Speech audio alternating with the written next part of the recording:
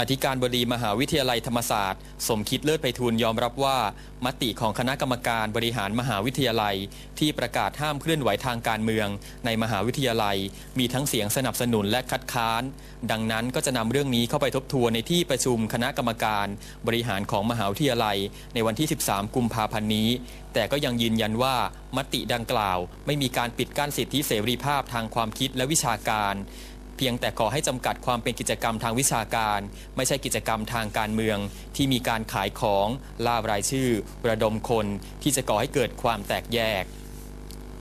อธิการบดีมหาวิทยาลัยธรรมศาสตร์บอกได้ว่า